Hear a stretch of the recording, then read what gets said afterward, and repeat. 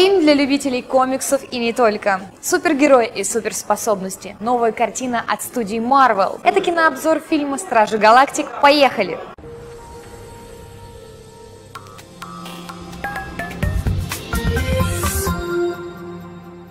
Студия Marvel, подарившая зрителям блокбастер «Мстителей» популярной франшизы о Железном Человеке, Торе, Черной Вдове и Капитане Америка, представляет новую команду супергероев, известных как Стражи Галактики. Marvel Entertainment, дочерняя компания The Walt Disney Company с августа 2009 года, известна во всем мире благодаря уникальному набору вымышленных героев, созданных на протяжении последних 70 лет. Библиотека Marvel состоит из более 8 тысяч персонажей, в их числе такие как Человек-паук, Железный Человек, Человек, Люди Икс, Тор, Халк и другие. Стражи Галактики – фантастический боевик от режиссера Джеймса Ганна, основанный на одноименной серии комиксов, является десятым по счету фильмом кинематографической вселенной Марвел. В главных ролях задействованы Крис Прэтт, Зои Салдана, Дэйв Батиста, Вин Дизель и Брэди Купер. В новом фантастическом приключении к отважному путешественнику Питеру Квиллу в руки попадает таинственный артефакт, принадлежащий могущественному и безжалостному злодею Ронану, строящему коварные планы по захвату Вселенной. Питер оказывается в центре межгалактической охоты, где жертва он сам. Единственный способ спасти свою жизнь – объединиться с четверкой нелюдимых изгоев, воинственным енотом по кличке Ракета, человекоподобным деревом Грутом, смертельно опасной Гаморой и одержимым жаждой мести Драксом, также известным как Разрушитель. Когда Квилл понимает, какой силой обладает украденный артефакт и какую опасность он представляет для Вселенной, одиночка пойдет на все, чтобы сплотить случайных союзников для решающей битвы за судьбу галактики. Планировалось, что Железный Человек исполнит эпизодическую роль в этом фильме, поскольку он является последним из Стражей Галактики в комиксах, но от этой идеи отказались после того, как Роберт Дауни-младший сказал, что, возможно, в будущем он не будет исполнять роль Тони Старка. Во время съемок на площадке постоянно играла музыка, написанная Тайлером Бейтсом специально для фильма. По мнению режиссера Джеймса Ганна, именно музыка помогает создать на площадке уникальную атмосферу, которая настраивает всю группу на нужный лад. Кстати, помимо оригинального оригинального саундтрека музыкальный отдел сделал подборку популярных песен 70-х годов, которые Питер Квилл постоянно слушает на своем старом кассетном плеере.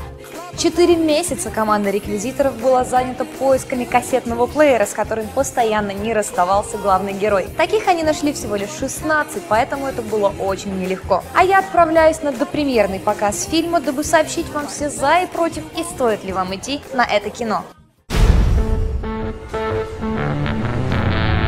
Они называют себя Стражами Галактики. Енот вызывает у меня сомнения. О, да.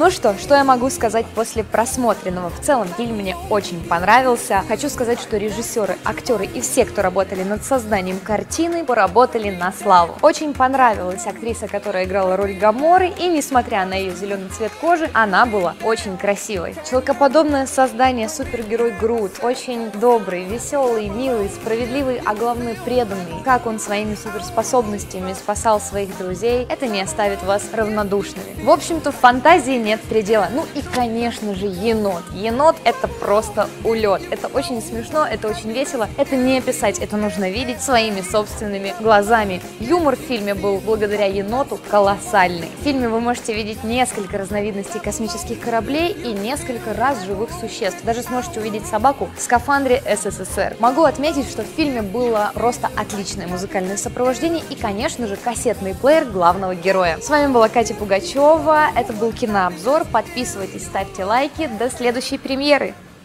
Вы сможете даже увидеть собаку э, в костюме...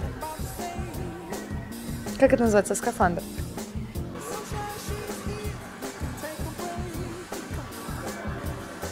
Ни коротко, ни затянуто. Все прекрасно. А... Ох, Дима, тебе резать придется.